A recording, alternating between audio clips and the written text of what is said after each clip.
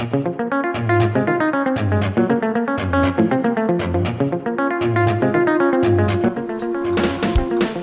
たちったら何でもかんでも分類区別ジャンル分けしたがる。人はなぜか分類したがる習性があるとかないとか。この世の中に種類の人間がいるとかいう君たちが標的持ってるやつと持てないやつとかちゃんとやるやつとやってないやつとか陰キャ陽キャ君らは分類しないとどうにも落ち着かない。気づかない本能の外側を覗いてかない。気分が乗らない。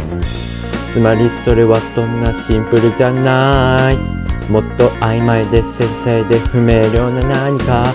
例えば持ってるのに出せないやつやってるのにいけないやつ。持ってるのに砂糖たふりしてすかしてるうちに不安になったりするやつ。所詮あんたはギフデッド私は普通の主婦ですと。それはいいでしょう。素晴らしいでしょう。不可能の証明の完成なんじゃない？夢を持てなんて言ってない。そんな無責任なりはしない。ただその習性に食われないでそんなハビト捨てるたび見えてくる君の価値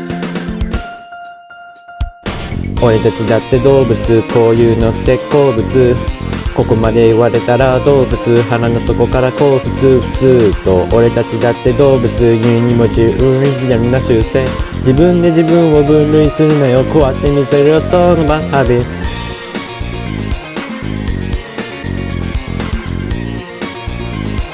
壊してみせるよその場旅。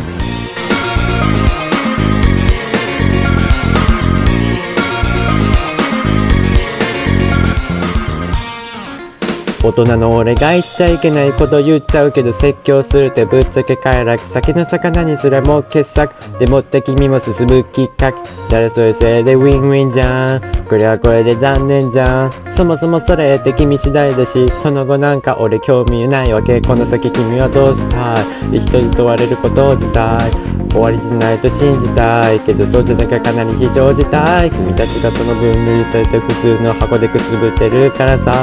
俺は人生イージーモードずっとそこに眠ってであらさ俺はそもそもステークが低いだからあがいてもがいて醜く吠えた。俺のあの頃を分類したら誰の目から見ても明らか。すぐ世の中カニだとか愛だとか運だとか縁だとかなぜ2文字で片付けちゃうの？俺たちはもっと曖昧で複雑で明瞭な何か悟ったふりしておごるなよ。君に君を分類する能力なんてない。俺たちだって動物こういうのって好物。ここまで言われたら動物腹の底からこう普通と俺たちだって動物。ゆえに持ちオリジナルな習性自分で自分を分類するのよ。壊してみせる。よその晩旅。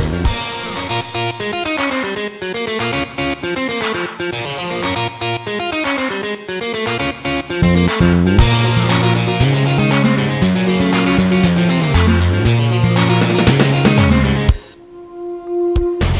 たちだって動物こういうのって好物ここまで言われたら動物腹の底からこう普通と俺たちだって動物ゆいに持ちるオリジナルな習性自分で自分を分類するなよ壊してみせるよそんなバンハビ